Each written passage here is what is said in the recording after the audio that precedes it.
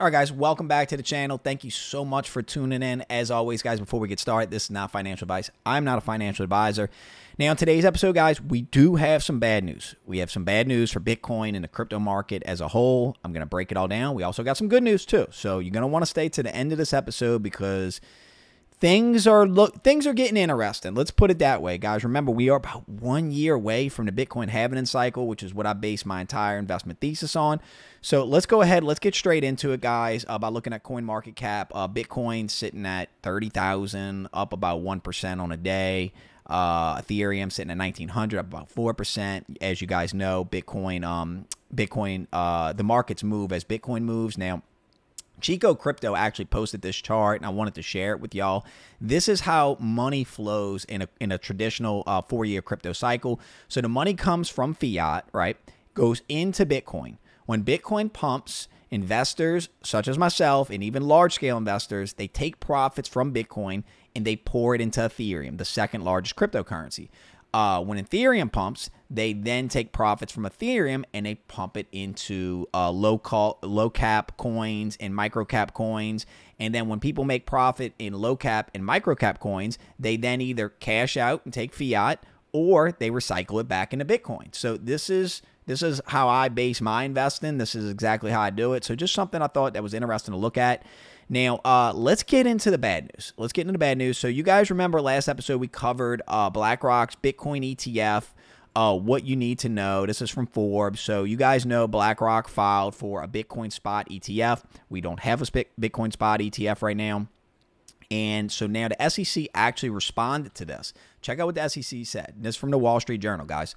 Uh, SEC says spot Bitcoin ETF filings are inadequate. Regulator tells NASDAQ uh, that applications from BlackRock, Fidelity, and others aren't clear and comprehensive. So, what does this mean? So, they haven't denied the, the, the, spot ETF. They didn't say they're, they're denying it like the, uh, the SEC has denied previous Bitcoin spot ETFs that's been filed. So, what is going to happen? Well, I really don't know. I don't know how long this is going to take. I don't know if BlackRock's going to have to refile. But if, which I, I guess, you know, I'm, I'm, I am a betting man because I'm putting my own money in these markets. I think that BlackRock's spot ETF is going to get approved. And I think that BlackRock, BlackRock is going to have the first Bitcoin spot ETF approved. But Kevin, how, how can you know that? That's a bold statement. Well, let me show you this, guys. This is from Finbold. This is BlackRock's record for ETFs approved by the SEC. 575 to 1, meaning that when BlackRock files for an ETF, it gets approved. And why is that bullish for cryptocurrency? Well, guys, you know, it, a spot ETF, these institutions will have to buy actual Bitcoin at the actual Bitcoin spot price, not a paper representation of Bitcoin. This, the amount of money that will flow into this asset perfectly correlating with the Bitcoin halving cycle. Absolutely incredible what can happen. Now, again, guys, this is not financial advice. I'm only going on my own research. You need to do your own research. You need to research the Bitcoin halving and cycle. And, um, you know, we can look at, you know, guys, BlackRock, when they want an ETF approved, it gets approved. And again, why this is so bullish is that, you know, you can look this up. Uh, when the first uh, spot ETF for gold was approved, the price of gold absolutely skyrocketed. Now, when the price skyrockets, understand that you know BlackRock and these big financial institutions will then be able to manipulate these markets the same way they manipulate stocks, the same way they manipulate other ETFs. So it's not all good that BlackRock's in this, but what I try to explain to you on this channel, because you're smart, a lot of you on this channel, you actually get it. We're front running the big money. We're front running BlackRock if you're investing in this. You're front running Fidelity. You're, you're front running Charles Schwab and Cathie Woods. You're front running all the big money by being in these markets. So it's an interesting opportunity.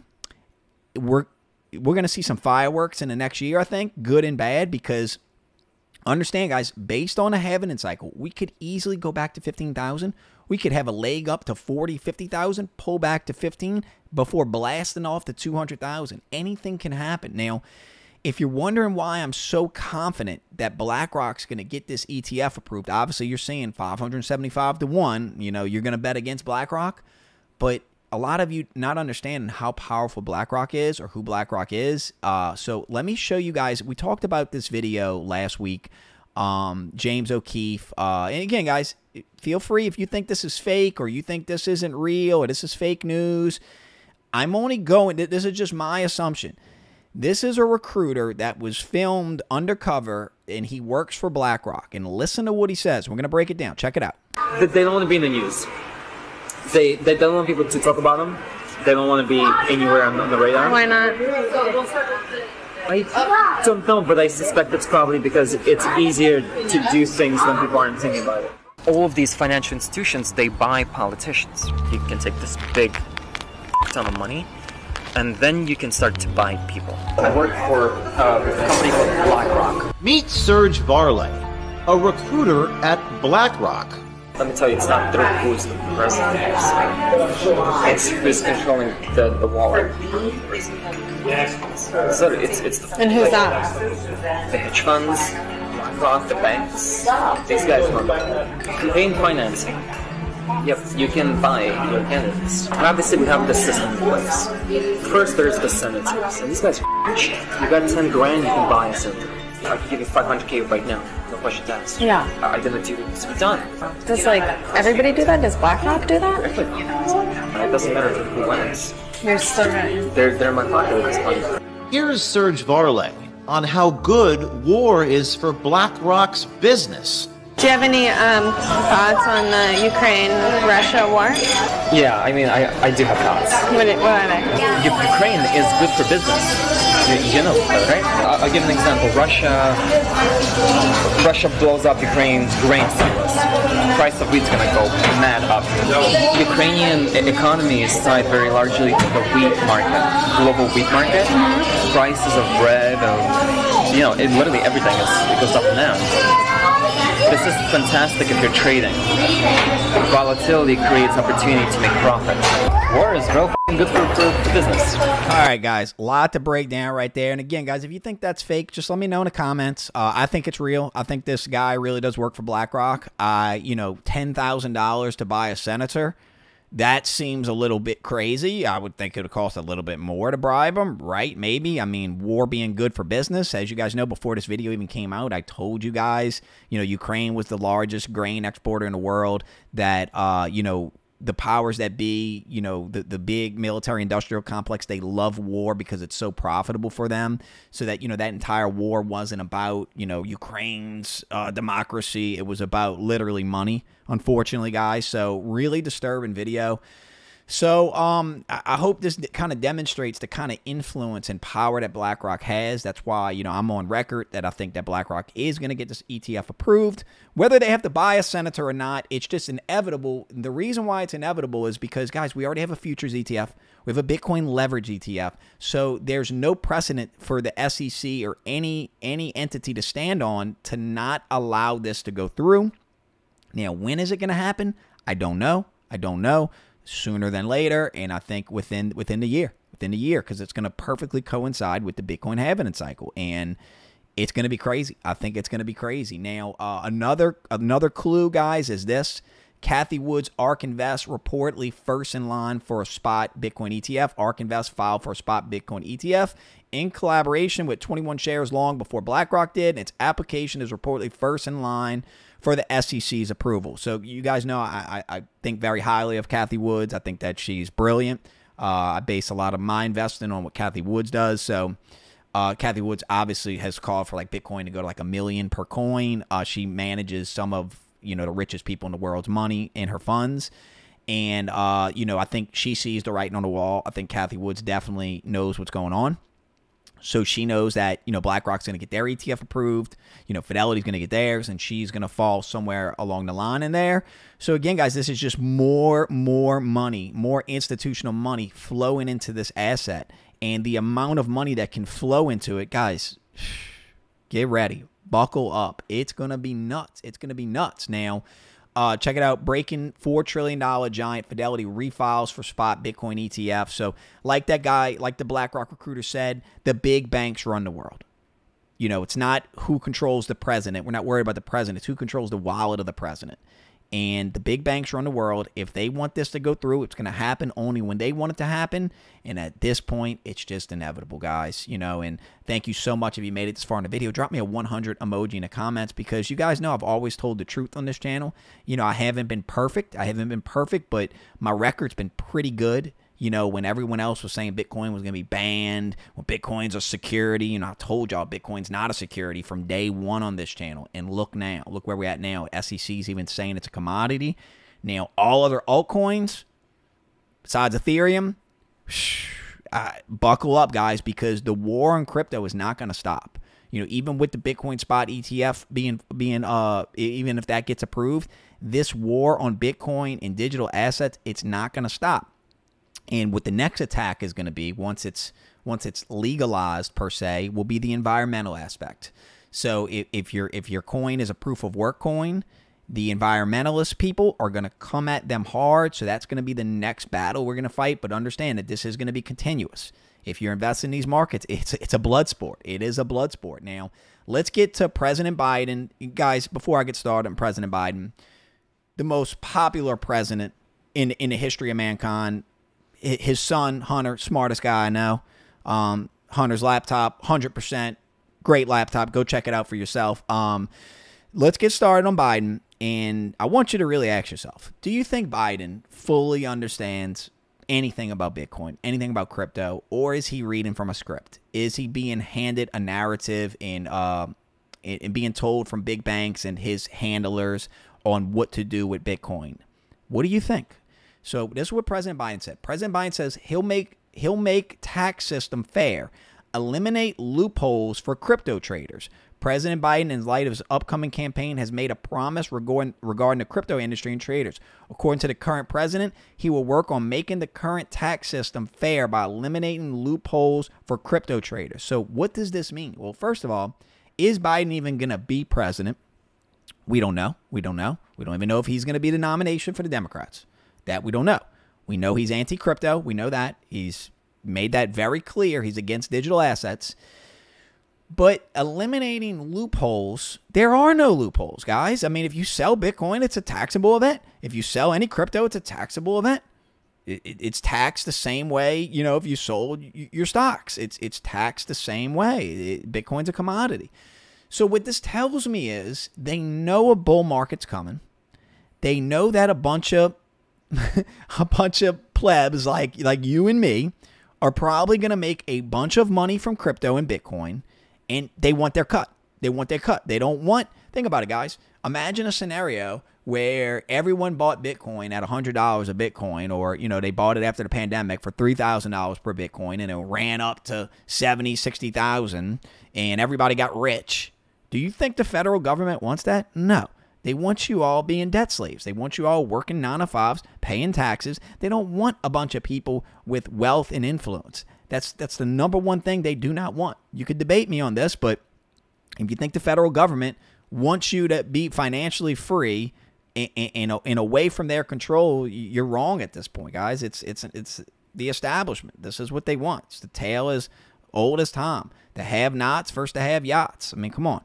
So. uh again, let me know in the comments, guys. I mean, what else could this mean? I mean, if crypto was going to go to zero, if wait, if crypto was going to go to zero and it was all going to be banned, it was all not going to exist anymore, what would he be talking about about tax provisions for loopholes for crypto traders? Because he knows what I know. His handlers know. They can't stop it, guys. It's coming.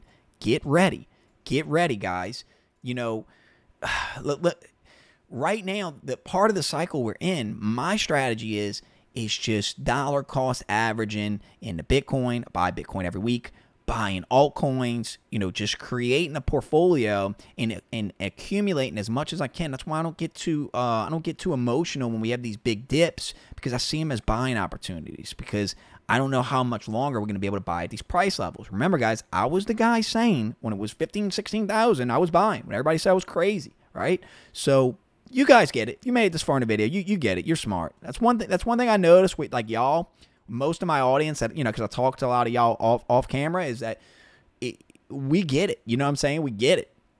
A lot of people get it, and a lot of you are gonna be make a lot of money in crypto, and I think it's awesome, guys. I think it's awesome because I just think you know it's it's it's a beautiful to have other ways to create generational wealth. You know, not just you know working a job, guys, because you know it, it it's going to be really hard to work a nine to five job. Nothing against working a nine to five job. Nothing against you know earning an honest living, but you know, guys, with inflation, it's just going to be harder and harder. It's going to get harder and harder to make money. It's going to get harder and harder to raise a family. It's going to get harder and harder to buy a house. And, you know, having an alternative to, to get away from the inflation, to get away from the devaluing of our dollar, it's a beautiful thing.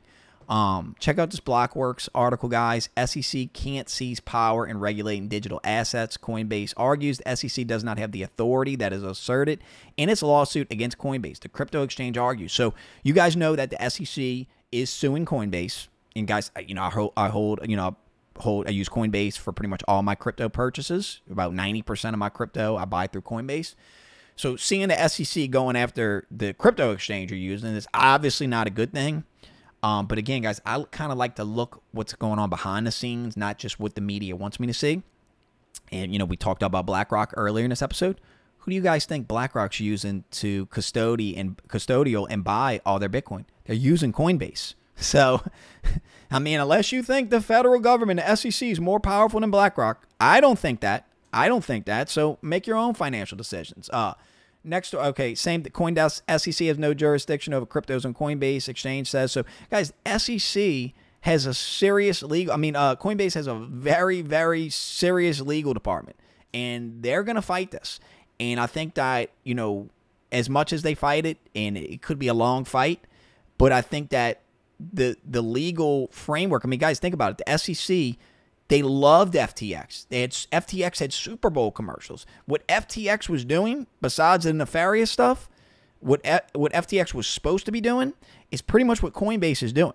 So how could FTX be be greenlighted and, and, and given the reins to do whatever they want in the crypto world and end up being the biggest scammers of all time, but Coinbase not be allowed to? So I think the SEC is going to lose. I think Gary Gensler is going to either be fired or resign, and then the bull market will start. I mean, now check this out from the Economic Times: crypto is here to stay, must be regulated. Hong Kong Treasury chief. So, guys, what bizarro world are we living in that the the the, the Chi-Coms, the Chinese Communist Party, is greenlighting crypto, is embracing this new crypto economy, is embracing digital assets, and the United States is doing everything in their power to regulate all this offshore. So, all imagine how many future Fortune 500 companies we're losing. Imagine if we lost Coinbase, a, a Fortune 500 company, we lost a publicly traded company, we lost them to China. Do you guys want to see China take more of our businesses? Do you guys want to see this industry be regulated and, and, and be under the CCP's jurisdiction? I mean, this is, guys, this isn't Republican versus Democrat thing. This is just simply common sense. We want businesses in America. We want innovation in America. We want jobs in America. We want financial freedom in America. Uh, next story, guys. Huge story. Went under the radar. MicroStrategies. Michael Saylor makes largest Bitcoin acquisition since prices peaked in late 2021. Guys, MicroStrategies bought $347 million of Bitcoin from April through June. Guys, Microsoft, they, this just happened. This just happened. MicroStrategy, he bought more Bitcoin. So MicroStrategies is a publicly traded company.